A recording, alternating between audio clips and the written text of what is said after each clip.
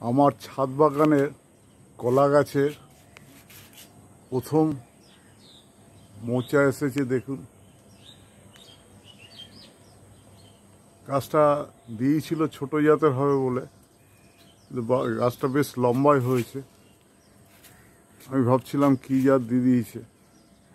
দেখুন, এইখানে বেডের বেডের মধ্যে লাগানো আছে। ঠিক আছে?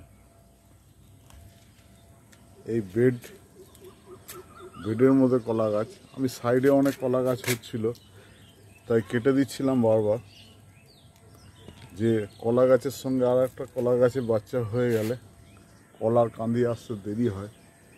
কিন্তু আমি আলটিমেট দেখলাম, কেটেও দিয়েছিলাম বেশ।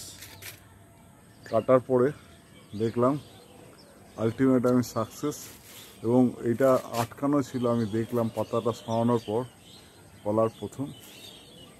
মোচা এসেছে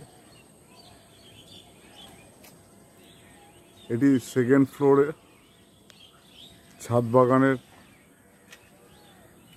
ছাদ বাগান।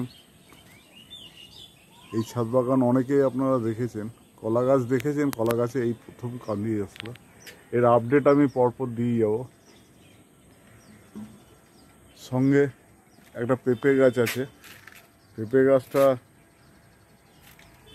ফুল আসছে। এই দেখুন। এরপরে ফুল ফল হবে। কেননা থার্ড ফ্লোরের সাথে একসাথে লাগিয়েছি। ওর ফল এসে গেছে।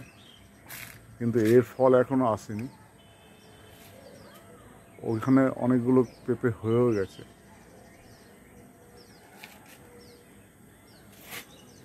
এটা আপডেট আপনাদের দেব।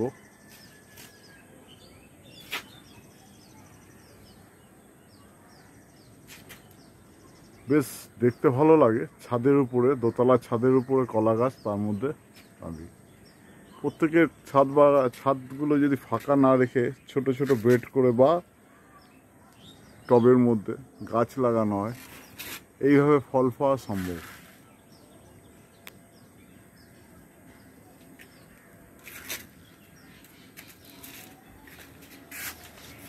ফল, সবজি সব কিছু ঠিক আছে?